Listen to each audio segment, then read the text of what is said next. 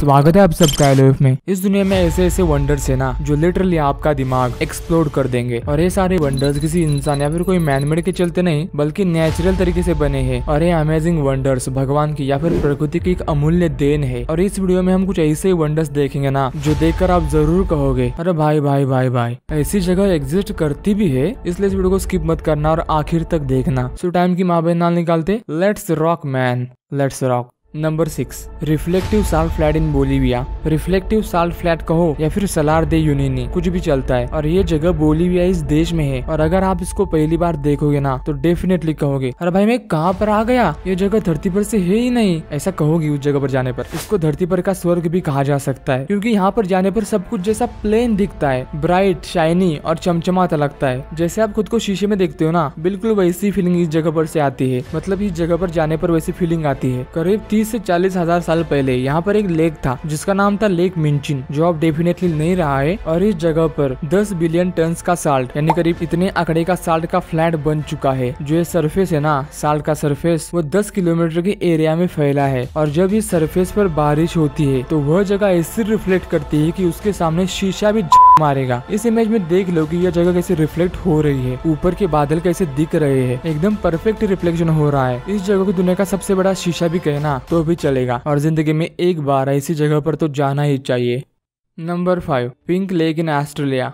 जब आप किसी तालाब के बारे में सोचते हो तो सबसे पहले कौन से कलर का तालाब आपको याद आता है? ब्लू कलर का, ब्राउन कलर का मे बी ग्रीन कलर का। लेकिन कभी पिंक कलर का तालाब देखा है? तो ये देखो, यह है ऑस्ट्रेलिया में स्थित एक लेक जिसका नाम है लेक हिलियर और ये पिंक कलर का है। दूर से देखने पर यह तालाब खून से भरा तालाब लगता है। इस तालाब का जो कलर है, वो एग्जैक्ट पिंक कलर का है। लेकिन पिंक कलर ही क्यूँ है? इसका एग्जैक्ट रीजन साइंटिस्ट को पता नहीं है। साइंटिस्ट कहते हैं कि डुनालिया सेलिना इस ऑर्गेनिज्म या फिर अलगी के चलते इस तालाब का पानी का कलर पिंक होता है, और ये माइक्रो अलगी एक ऐसा पिगमेंट कॉम्पाउंड प्रोड्यूस करता है, जो बीटा कैरोटीन जैसे लाइट्स को एब्जॉर्ब करता है, जैसे कि गाजर का ऑरेंज कलर में बदलना, या फिर पत्ता गोभी का पर्पल कलर में बदलना which is the same kind of that stuff बिल्कुल ऐसा ही काम करती है अलगी तो ये पिंक कलर का तालाब आपको कैसा लगा? कमेंट करके बताना.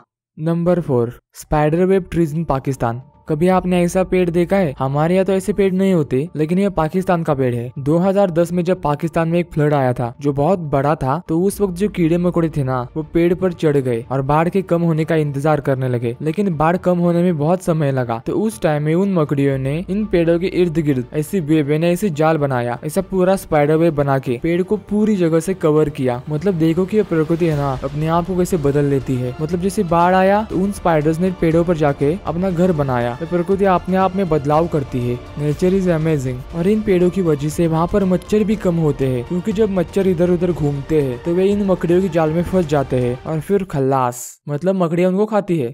काफ़ी अच्छा पेड़ है है ना? अगर कोई अनजान बंदा इसको देखे ना तो बेचारा मर ही जाएगा। मानो कोई भूतिया सा पेड़ लगता है।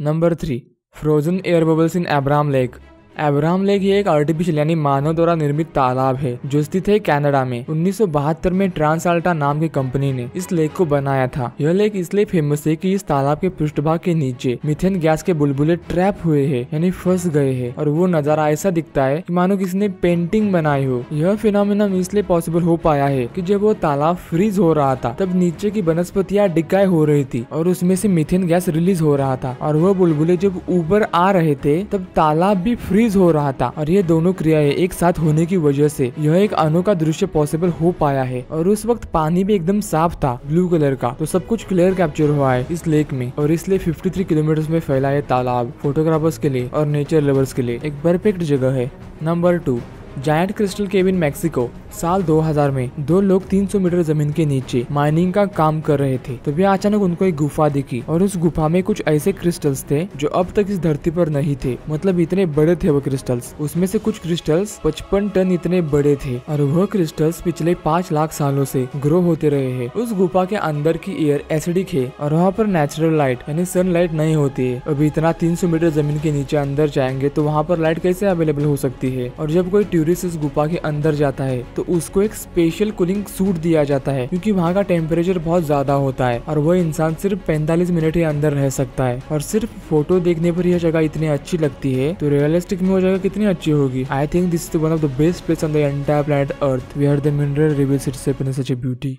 number one shimmering shores of Maldives क्या आपको पता है कि कैसा बीच है जो रात को चमकता है? हाँ बिल्कुल ऐसे चमकता है वो बीच रात के अंधेरे में बीच के पानी में नीले कलर की लाइट ग्लो होती है। वो पानी ऐसा इसलिए चमकता है कि उस पानी में फाइटोप्लैंक्टन नाम के ऑर्गेनिज्म होते हैं और जब ऑक्सीजन से पानी का संपर्क होता है तो वो ऐसा ग्लो करता है। फाइटोप्लैंक्टन के अंदर ब्लू लूमिनेंस होता है। मतलब वो ऐसा ग्लो करता है ना, वो फाइटोप्लैंक्टन के अंदर का लूमिनेंस होता है और वह नीला कलर घातक होता है। इतना ज़्यादा घातक नहीं होता, लेकिन घातक होता है मछलियों के लिए और वो ब्लू कलर उनका डिफेंस मोड होता है। मतलब वो मेरे को खाना नहीं, मेरे को खाना नहीं, ऐसा करके वो ग्लो होती है। वो ब्लू कलर उनका डिफेंस मोड होता है, इसलिए वो ऐसा ग्लो करती है। इस बीच को धरती का स्वर्ग भी कहे ना तो भी चलेगा। रात को पानी में चलने पर वो लाइट ऐसी ग्लो करती है कि मानो पूछो ही मत। और इस आइलैंड पर 500 के आसपास लोग रहते हैं, और विजिटर्स के लिए यह जगह काफ़ी फ़ेमस है। और इन सारी जगहों में से मालदीव की लाइट वाला बीच यह जगह मुझे काफ़ी पसंद आई। और इन सारी जगहों में से आपको कौन सी जगह बहुत अच्छी लगी? नीचे कमेंट करके बताना।